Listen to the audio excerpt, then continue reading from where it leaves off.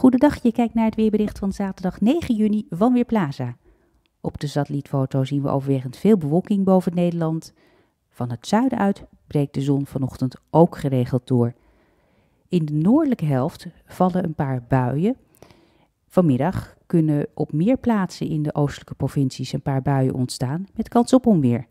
De temperatuur loopt vanmiddag uiteen van 23 graden in de westelijke kustprovincies tot zo'n 25 of 28 graden verder landinwaarts. Vanavond kan er nog een enkele bui voorkomen en dan koelt het af naar 20 tot 23 graden en in de nachtelijke uren ligt het kwik rond een graad of 17. Morgen blijft het de hele dag droog. Alleen vlak langs de oostgrens is een enkele bui mogelijk. Met 19 graden in het westen tot zo'n 24 of 25 graden is het nog vrij warm. Na het weekend verdwijnt de warmte.